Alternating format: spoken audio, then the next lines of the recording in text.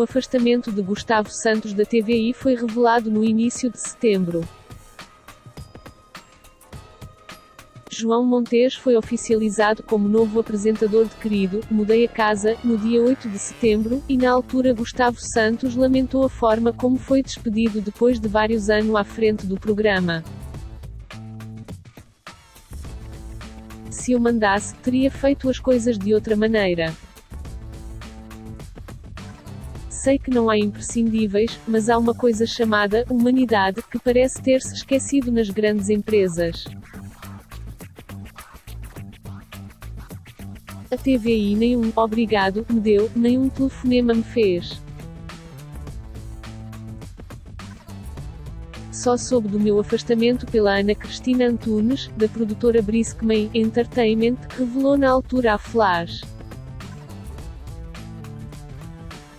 Agora, em entrevista à revista Nova Gente, o apresentador revela quem foi o responsável pela sua saída da estação. Essa decisão, segundo o que me foi dito pela Ana Cristina Antunes, produtora e decoradora do Querido, foi uma deliberação exclusiva do Nuno Santos, revelando no entanto que não ficou ressentido com o diretor-geral da estação.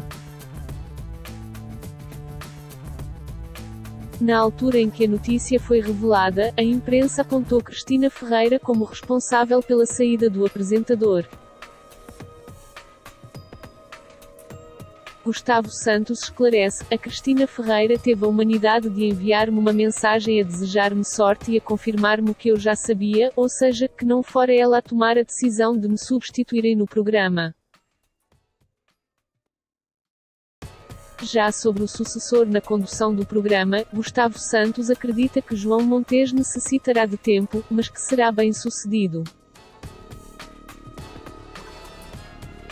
Gustavo Santos deu uma entrevista devida a Manuel Luís Goxa que será exibida este sábado. Gustavo Santos numa conversa sem filtros.